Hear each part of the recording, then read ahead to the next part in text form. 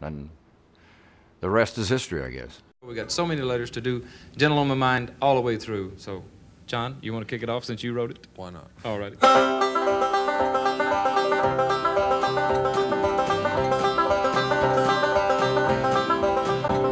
It's knowing that your door is always open and your path is free to walk. That makes me tend to leave my sleeping bag rolled up and stashed behind your couch.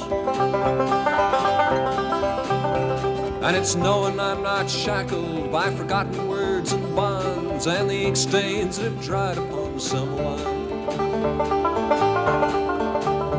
That keeps you in the back roads by the rivers of my memory. It keeps you ever gentle on my mind.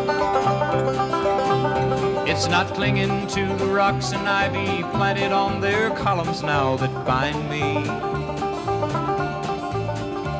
Or something that somebody said because they thought we fit together walking.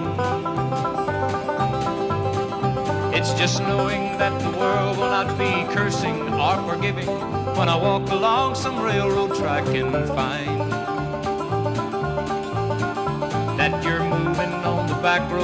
by the rivers of my memory, and for hours you're just gentle on my mind.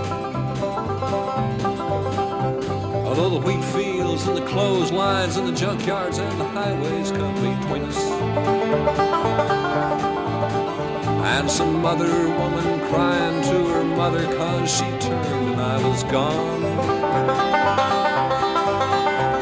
I still might run in silence, tears of joy might stain my face, and a summer sun might burn me till I'm blind. But not to where I cannot see you walking on the back roads by the rivers flowing gentle on by. I dip my cup of soup back from the gurgling, crackling cauldron in beard a roughed in coal pile and a dirty hat pulled over across my face.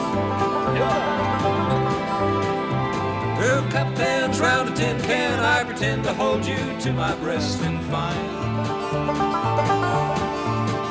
that you're waving from the back roads by the rivers of my memory, ever smiling, ever gentle on my